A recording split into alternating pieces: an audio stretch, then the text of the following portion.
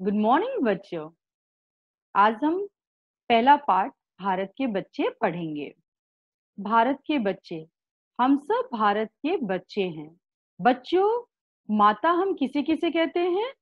माता हम आ, इस धरती माँ को कहते हैं भारत को कहते हैं और माँ जिसने हमको जन्म दिया उसको कहते हैं उनको कहते हैं। आज अब कविता शुरू करने जा रहे हैं हम लोग। भारत के बच्चे। मैं एक एक पंक्तियों को पढ़ूँगी और आप उसके बाद उन पंक्तियों को दोहराएँगे, जिससे आप शुद्ध उच्चारण के साथ कविता पाठ कर सकेंगे। हम भारत के बच्चे हैं, बस आगे बढ़ते जाएँगे। आए सौ तूफ़ान सामने रोकना हमको पाएँगे। कवि इन पंक्तियों में ये कहना चाहते हैं कि हम सभी भारत के बच्चे हैं और जीवन में आगे बढ़ते जाएँगे, चाहे कितनी भी बाधाएँ हमको रोकने के लिए आए, कितने भी तूफ़ान आए, हम सबका सामना करते हुए जीवन में आगे बढ़ते जाएँगे। हमें न समझो नन्हे मुन्ने हम साहस के पुतले हैं, दिल के हैं मज़बूत बड़े हम, तन के लगते दुबले हैं।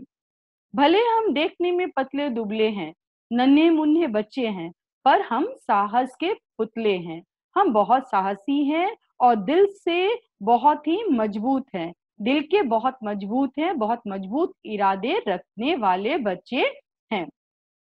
जो हमसे टक्कर लेगा, हम उसको सबक सिखाएँगे। हमें न समझो छोटे हम हैं, काम बड़े करने वाले। हमें छोटे बच्चे मत समझो। हम बड़ी सी बड़ी काम को करने वाले बच्चे हैं और बहुत बड़ी से बड़ी कामों को बहुत आसानी से कर लेते हैं।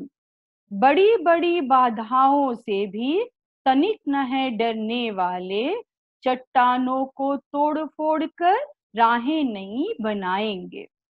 हम बड़ी सी बड़ी बाधाएँ जो जीवन में आएँगी हमारे उससे हम तनिक भी घबराएँगे नहीं, डरेंगे नहीं और चट्टानों को तोड़ फोड़ कर रास्ता ने रास्ता बना लेंगे जीवन में आगे बढ़ने का।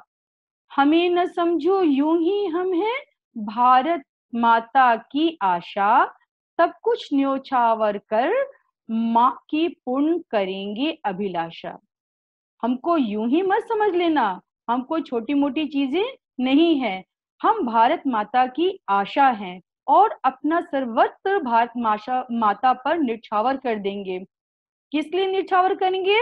माँ के अभिलाषा को पूर्ण करने के लिए। इस धरती माता की अभिलाषा को पूरा करने के लिए हम अपना सर्वस्त्र निछावर करने को तैयार हैं। गिरे आज हैं जो समाज में, ऊपर उन्हें उठाएँगे। हम भारत के बच्चे हैं, बस आगे बढ़ते जाएँगे।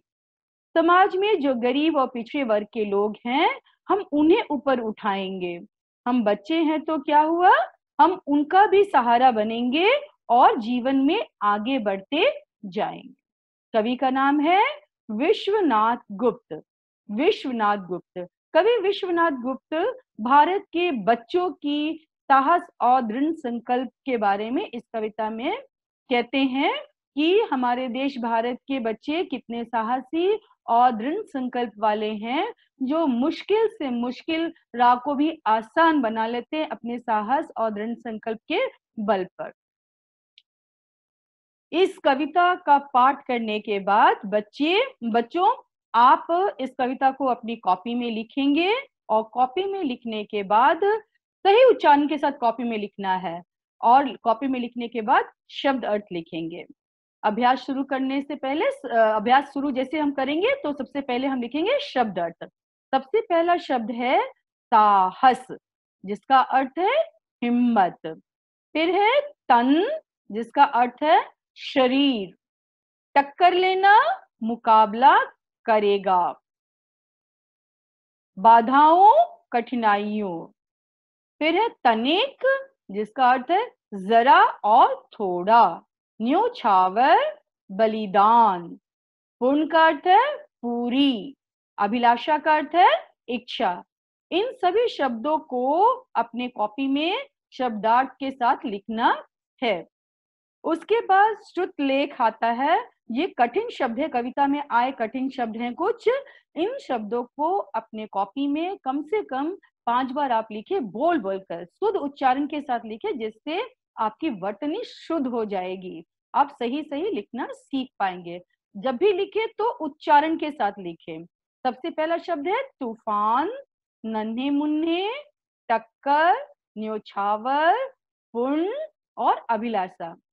इसके बाद हम कविता के, कविता में जो मौखिक और लिखित प्रश्नोत्तर दिया हुआ इन प्रश्न उत्तर को नहीं करना है। फिर कविता के इन पंक्तियों को पंक्तियों के अर्थ लिखो। इसे करेंगे हम। हम भारत के बच्चे हैं, इसका अर्थ क्या हुआ? हम सब भारत के बच्चे हैं, भारत के रहने वाले हैं, इसलिए हम सब भारत के बच्चे हैं। दूसरा है, बस आगे बढ़ते जाएँगे, जीवन पथ में हम आगे बढ़ते जाएँगे। चाहे कितनी भी बाधाएँ आए, हम उनसे घबराएँगे नहीं, हम आगे बढ़ते जाएँगे। आए सो तूफ़ान सामने। चाहे कितनी भी बाधाएँ जीवन में आए, तूफ़ान आए सबका सामना करते हुए हम जीवन में आगे बढ़ते जाएँगे। रोक ना हमको पाएँगे। ये बाधाएँ जो हमारे जीवन में आएँगी, तूफ़ान जो हमारे जीवन में आएँगे, इनसे हम तनिक भी घबराएँगे नहीं, ये हमें नहीं रोक पाएँगे और हम आगे बढ़ते जाएँगे। दूसरा प्रश्न है, कविता की पंक्तियाँ पूरी करो। कविता की पंक्तियाँ क दिया हुआ है जिसकी इन पंक्तियों को पूरी करना है। सबसे पहले हम पेंसिल से अपने बुक में ही लिख लेंगे, उसके बाद उसको कॉपी में लिखेंगे। बड़ी बड़ी बाधाओं से भी तनिक न है डरने वाले चट्टानों को तोड़ फोड़ कर राहें नहीं बनाएँगे। फिर है ख। हमें न समझो यूँ ही हम हैं, भारत माता की आशा सबको न्योछावर कर माँ की पुण्य करेंगे अभिलाषा। फिर है सोच कर लिखो। बच्चों, इसे आपको स्वयं लिखना है और कम से कम पाँच वाक्य लिखना जिससे कि आपकी लेखनी शुद्ध होगी। आप सही सही लिख पाएँगे। देश के जागरूक नागरिकों को किन, नागरिकों में कौन कौन से गुण होने चाहिए? हमारे देश के जो नागरिक हैं, जो जागरूक नागरिक है, उनमें कौन कौन से गुण होने चाहिए, ये आपको लिखना है। अभी सिर्फ़ मैं इसके बारे में आपसे चर्चा करूँगी, पर आप लोगों को इसे अपने कॉपी में स्वयं से लिखना है, खुद से लिखना है। एक अच्छे जागरूक नागरिक का ये पहचान होता है कि वो अपने देश के भविष्य के लिए कुछ अच्छा करे, देश के रक्षा के लिए करे और वर्तमान स्थिति जो चल रही है हमारे देश की, उसके लिए योगदान करें। और बच्चों, आप इस स्थिति को देखते हुए क्या योगदान कर सकते हैं? घरों में रहकर आप एक जागरूक नागरिक के रूप में अपना योगदान दे सकते हैं भारत देश के लिए। आप लोग अपने घरों में रहें और मन लगा के पढ़ाई करें, खूब खाएँ, खेले, कूदे, घर के अंदर ही पर और अब स्वस्थ रहें। इसी के साथ अब अगले क्लास में हम और इस पार्ट को आगे पढ़ेंगे।